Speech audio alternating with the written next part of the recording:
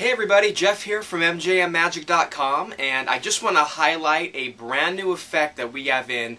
It's called Consignment by James Howells. It's a signed card to envelope effect that is it's probably the best that I've ever seen.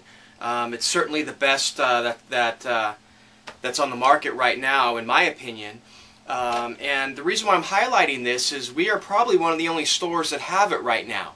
Um, we got an initial batch in, they all sold out, and we were able to find uh, some more and we bought everything.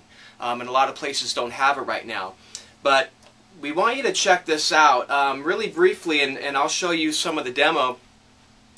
Uh, you have a, a, a, you have an envelope that's on the table.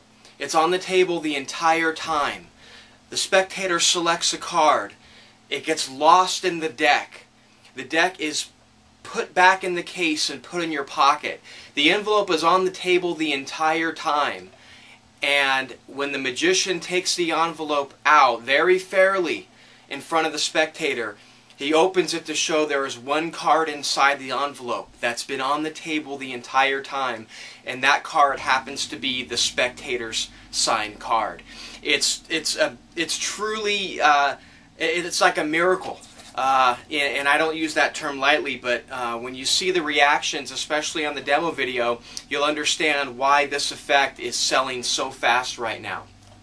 So you could pick it up on our website. We have probably about a dozen left at this time. Um, so uh, if you act right now, you could still get one. And uh, anyway, if you have any questions, just go to mjmmagic.com, click the Contact Us link at the top. We'd love to hear from you. And uh, that's it for now. So we'll talk to you soon. Bye-bye. That can't happen. Michael, I've got a card in an envelope here.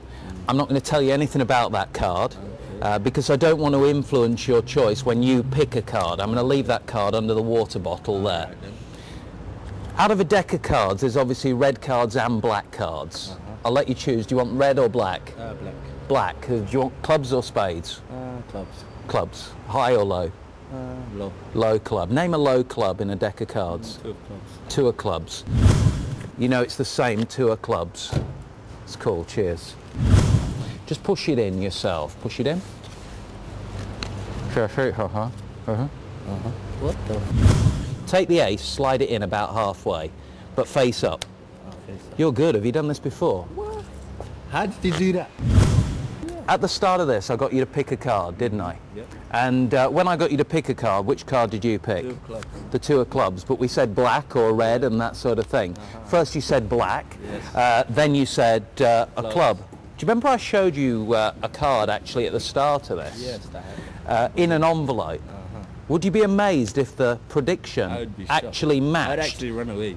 If this was a two of clubs, would, would that be good? Yeah. If this was another two of clubs?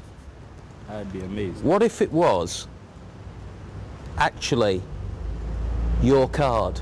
Nah, not taking them. How did you do that? nah, how did you do that? Like seriously, because I put it in there and it, this was separate the whole time. ah, that's nah, man. I'm shocked. Can I have this? You can have it, yeah. yeah I'm taking it. I swear that. But oh my days, I can't even explain it now, you know.